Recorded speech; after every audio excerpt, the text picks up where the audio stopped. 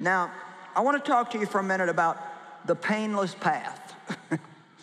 you know, getting hurt hurts. But oddly enough, getting well hurts too. You come to a point where it doesn't hurt anymore, but part of the reason why so many people stay broken is because there's also pain in the healing process. You know, you can injure yourself and the injury hurts, but while you're in the healing process, it still hurts, doesn't it? So I want you to understand if you're one of these people that decided with me this morning that you're gonna, you're ready for a life upgrade. Yeah. You wanna not just be here and breathe, but you want to have the life, the best upgraded life that Jesus died to give you. I'm just going to be honest with you and tell you that it's not just going to all be easy. For one thing, to get well, you have to face a lot of things about where you're at. Jesus said, if you continue in my word, you'll know the truth, and the truth will make you free. Well, it's not the truth about somebody else that's going to make you free.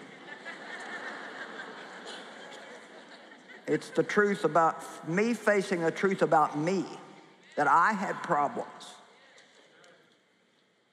that I was manipulative and controlling, that I was insecure no matter the fact that I acted bold, really way down deep inside, I was insecure.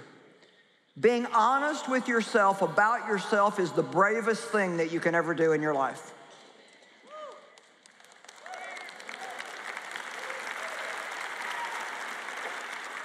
You see, God knows you and He loves you anyway, and you need to learn how to know you and love you anyway.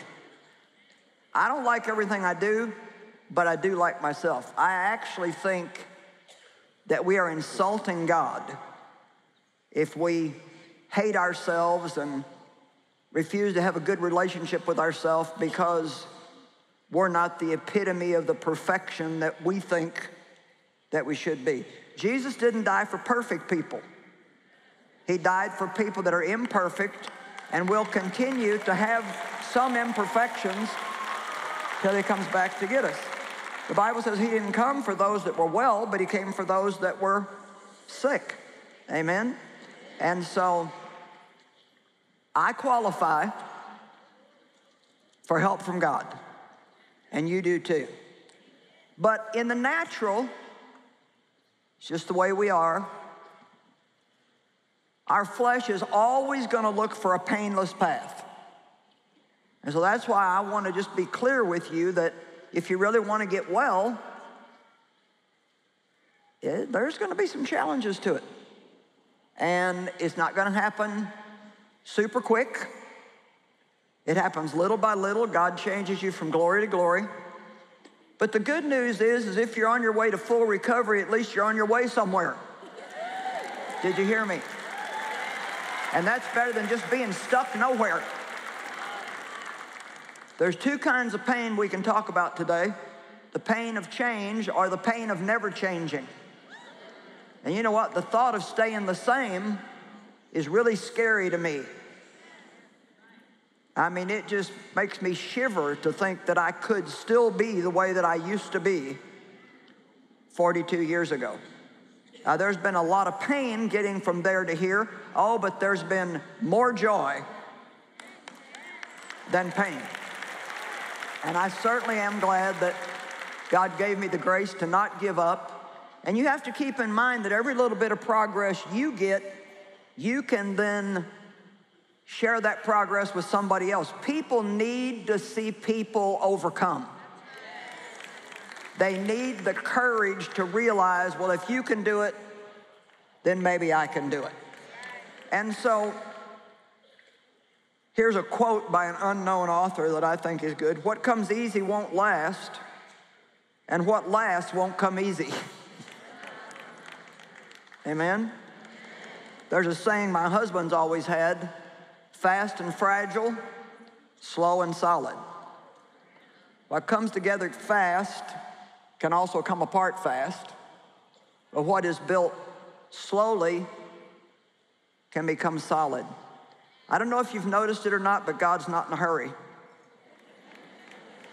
Has anybody realized that? God's not in a hurry? You know why? Because He's more interested in quality than quantity. Amen?